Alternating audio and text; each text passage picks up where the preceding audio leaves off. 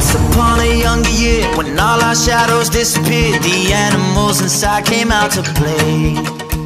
Went face to face with all our fears, learned our lessons through the tears, made memories we knew would never fade.